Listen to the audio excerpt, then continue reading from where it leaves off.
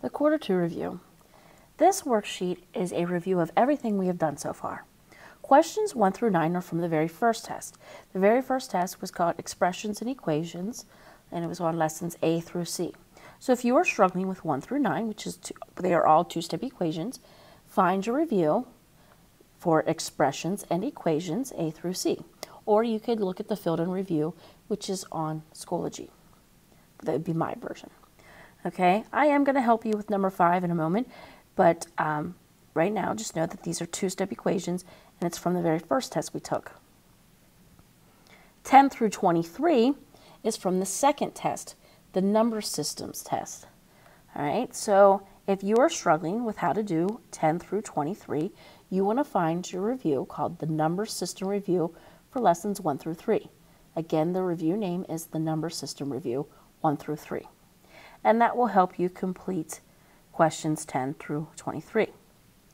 The last three questions are what we just finished up working on, which is the laws of exponents. So um, if use anything from 4.1 to 4.4 to help you complete 24 through 26. So I'm going to go back to, to the first nine. First of all, again, these are all two-step equations, so pause your video and box each one of your variable terms with the sign in front. Again, pause the video, box your variable term with the sign in front. Okay, I'm going to do number five with you. So for number five, I've boxed my variable term, and the first thing I want to do is get rid of the number that's outside of the box. Remember, the ultimate goal is to isolate the variable, so I'm trying to get this d by itself.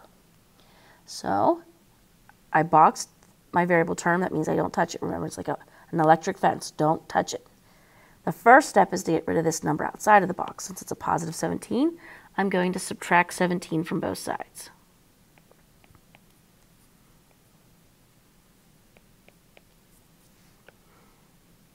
That allows me to cancel the 17s. And now when I bring down this fraction, I'm going to bring it down as 4 sevenths with the d beside it. It's the same thing. So bring it down as 4 sevenths with the d written beside it. And that is going to equal, well, 5 minus 17 is negative 12. This is a multiplication problem that contains a fraction. So to get rid of the fraction, we take the reciprocal. We're going to multiply both sides by the reciprocal. So I'm going to multiply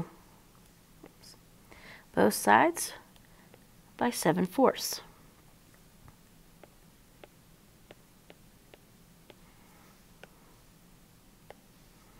The 4's cancel, the 7's cancel. So I'm going to have D equals, and then you would put in your calculator, negative 12 times 7 fourths. Uh, 4 goes into 12 three times. 3 times 7 is 21. So this is going to be negative 21. You could put it in your calculator. I strongly suggest putting it in your calculator to make sure that you do the math correctly. And then when you're finished, remember we're going to check it.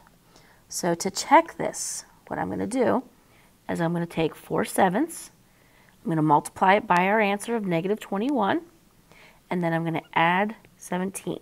So this is what I'm going to use to check my answer. Let me bring up the calculator.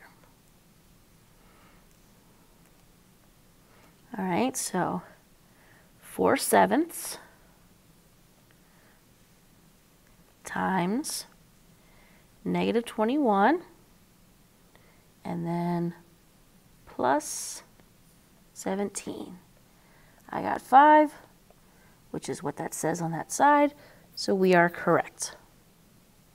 So again, there's no reason to miss 1 through 9 because you can check your answer for each of these. Okay, so that is a video on how to complete 1 through 9. Now, 5, 8, and 9. Notice how 5, 8, and 9 have boxes around them? 5, 8, and 9 are all problems that are going to require you to take the reciprocal. 4 and 5 are not reciprocal problems. 4 and 5 are not reciprocal problems. This is division, and the opposite of division is multiplication.